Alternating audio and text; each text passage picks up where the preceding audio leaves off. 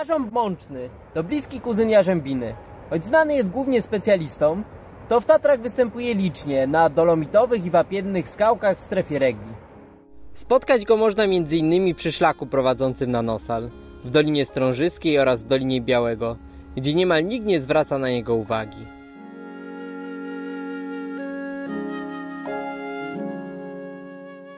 Drzewo to jest stałym elementem reliktowych lasów sosnowych, gdzie towarzyszy sośnie zwyczajnej. W lasach sosnowych czuje się doskonale, ponieważ ma dostęp do życiodajnego światła.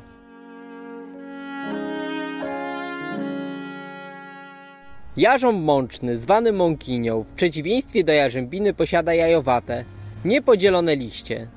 Cechą, po której z kolei łatwo odróżnić liście jarzębu mącznego od innych drzew, jest ich kontrastowy kolor. Z wierzchu są bowiem błyszcząco ciemnozielone, od spodu gęsto owłosione białym kutnerem.